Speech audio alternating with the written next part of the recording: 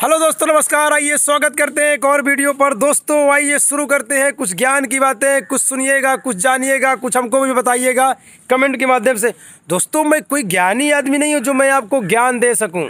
लेकिन मैं इतना ज़रूर जानता हूँ कि जो महान लोग हुए हैं, जो सफल लोग हुए हैं, अपने रास्ते पर कैसे हुए हैं और उनकी कहानियों को सुना हूँ, उनको कहानियों को पढ़ा हूँ तो थोड़ा सा ज्ञान ज़रूर पेलता हूँ। दोस्तों, किसी शायर ने बहुत सुंदर सी बात कही थी कि लोग हर मोड़ पे रुक रुक कर संभलते क्यों हैं? कि लोग हर मोड़ पे रुक रुक कर संभलते क्यों हैं? जब इतना डरते हैं तो घर से निकलते क्यों हैं? घर से निकलते क्यों हैं? दोस्तों, हम लोग अपने मंजिल की ओर बढ़ना चाहते हैं। हर इंसान सफलता की सीढ़ी को चूमना चाहता है। अपने अपने फ़ील्ड में एक अच्छा कार्य करना चाहता है।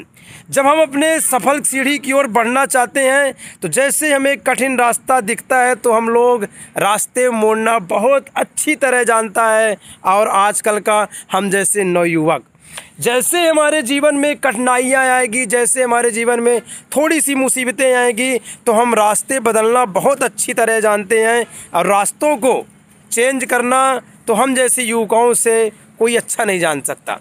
तो मैं कहना चाहता हूँ कि जब आप जीवन में, आपके जीवन में कठिनाइयाँ आएँगी, मुसीबत आएँगी तो ज़रूरी नहीं है कि आप रास्ते चेंज करें। आप अपने मंजिल को मत चेंज करें, आप उन मंजिल को पाने के लिए उस पर प्रयास करें। अगर आपको रास्ता कठिन लगता है तो रास्तों को चेंज करके सपने नहीं पाए जा सकते। अगर आपको इतना ही डर है संघर्ष करने से तो आप सपने क्यों देखते हैं?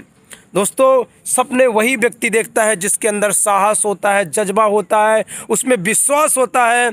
कि मैं अपनी मंजिल की ओर, अपने सपनों की ओर लगातार बहूँगा, लगातार मेहनत करूँगा, चाहे कुछ भी हो जाए। बहुत से लोग एक टारगेट लेके अपने सपने की ओर बढ़ते हैं कि छः महीना काम करूँगा, अगर इतना रिज़ल्ट मिलेगा तो मैं उस पर लगातार काम करता रहूँगा। दोस्तों, कोई मंजिल को पाने के लिए कोई टारगेट नहीं होता, या कोई एक सीढ़ी होती है। आपका कार्य ही आपकी सफलता का परिचय कराती है और आपकी मेहनत, आपका लगन ही आपको बता देता है कि आप इस फ़ील्ड में में सफल होंगे कि नहीं होंगे। बस इतना ही कहूँगा दोस्तों कि आप जब अपने सीढ़ी, अपने सपनों की सीढ़ी की ओर आगे बढ़ेंगे तो आपके पास अनेक मुसीबतें आएँगी। क्या पता आपको अब किस, किए हुए कार्य का कभी फल ना मिले। अगर आपका फल नहीं मिलता तो उसका कारण ढूंढिए। उसका कारण ढूंढिए कि क्यों नहीं मिल रहा था अभी तक मैं कार्य किया।